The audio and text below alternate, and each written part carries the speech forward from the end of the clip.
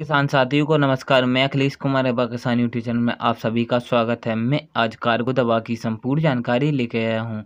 इस दवा की कंपनी की बात की जाए तो सुमो सुमोटोमो कंपनी की कार्गो दवा आती है। इसके रासायनिक और टेक्निकल नाम की बात की जाए तो इमावैक्टिन बेंजोड डेढ़ परसेंट प्लस परफॉर्मोफिस पैंतीस percent W D G form में उपस्थित है।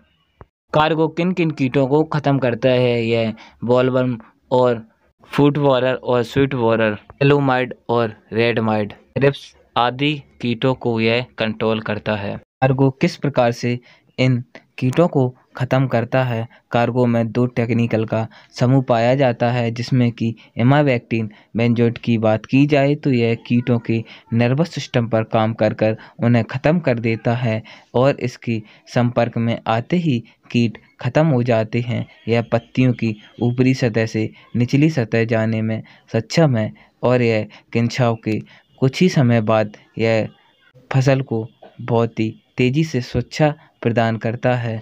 और इसमें परफॉर्मोस की बात की जाए तो यह सबसे प्रमुख बात इसमें कि यह इल्लियों के अंडों को फोड़ने में सक्षम है। यह सबसे तेज़ी से इल्लियों के अंडों को फोड़ने में सक्षम है और उनके नर्वस सिस्टम पर काम कर कर कीटों को काफ़ी तेज़ी से निष्क्रिय कर देती है और कीट काफ़ी तेज़ी से ख़त्म हो जाते हैं। और इसमें पत्तियों की ऊपरी सतह से निचली सतह में जाने में सक्षम है, जिससे कि पत्तियों के नीचे छुपे हुए कीट काफ़ी तेज़ी से ख़त्म हो जाते हैं।